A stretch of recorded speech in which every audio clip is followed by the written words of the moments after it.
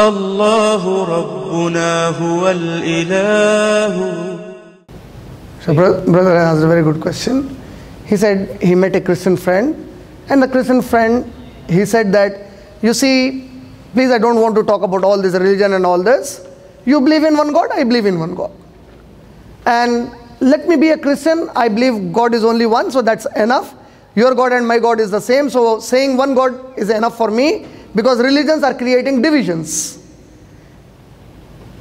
Brother, suppose you, you, you ask that Christian again, you say to him, he takes an admission in the school. On the admission form, they say, father's name. So will he write, my father is only one? He won't write. Everybody knows his father is one.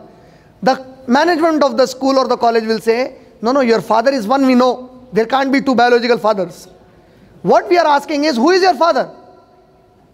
No, see, you see, sir, your father is also one, my father is also one. So let us believe father is one, and can he do that? So it's a stupid statement to give actually. Islam is very clear. Allah said, even if you say you believe in Allah, in what kind of an Allah do you believe in? Unless you don't believe in Allah, like Allah wanted you to believe according to Surah Ikhlas, then you are not believing in Allah. When was it revealed? Three Christian missionaries. They come to Muhammad Sallallahu in Medina.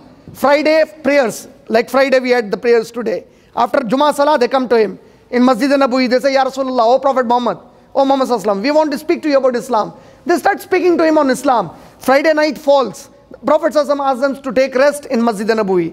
Saturday, whole Saturday they discuss. Saturday night falls. The Prophet Sallallahu takes, says, take rest in the Masjid Nabawi. Tomorrow morning, I know Sunday is your holy day whatever worship you have to do, do it on in the corner of the masjid, and again we will talk. Sunday they come back to Prophet Muhammad and they say, Three days we are speaking to you, O Muhammad You are talking about Allah, Allah, Allah. Allah said this is permitted, this is forbidden. Allah said this, Allah said this. Allah did this, Allah did this.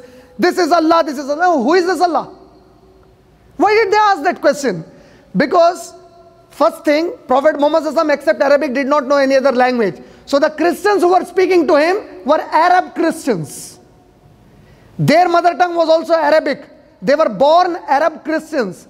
In Arabian region, there are more than 14 million born Arab Jews and Christians whose mother tongue is Arabic.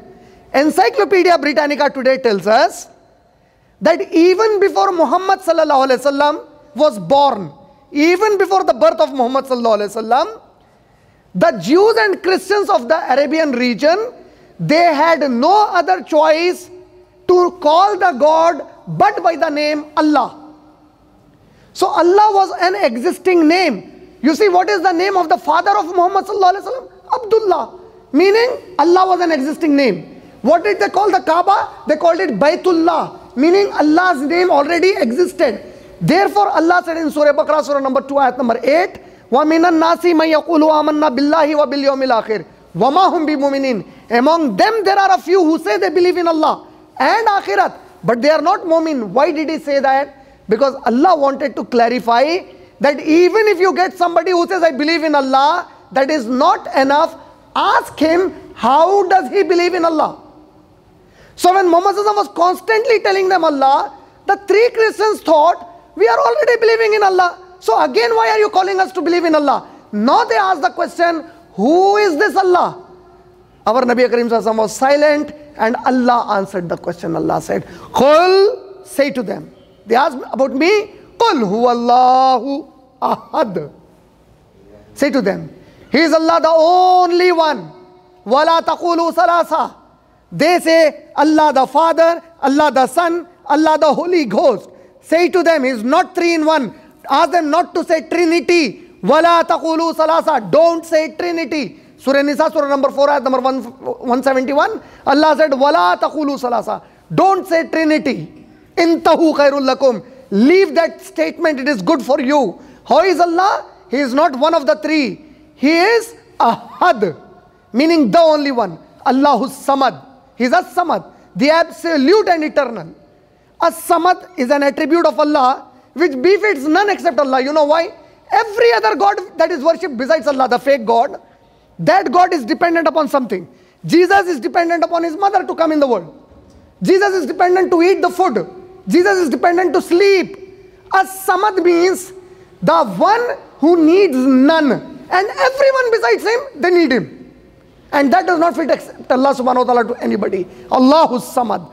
Lam yalid walam yulad. He has no parents, no children. Walam yakun lahu kufuwan ahad. And there is none like Allah subhanahu wa ta'ala. So when that Christian is telling you this, say first of all, identity by the name is very important. If it is important to identify who your father is, how is it unimportant to identify the true God? It is important. Then when you are identifying by name, it is very important to identify the attributes and names. And that perfection is through the Quran All the names of Allah, all the attributes of Allah, as Allah chose for Himself and as Muhammad sallallahu alaihi wasallam chose and explained to us through His authentic ahadith. That is all we believe in Allah. Other than this, Allah said there are people who say they believe in Allah, but they are not believers. I hope I answered that question. Sir, wa akhiru dawan alhamdulillahi rabbil alamin. الله ربنا هو الإله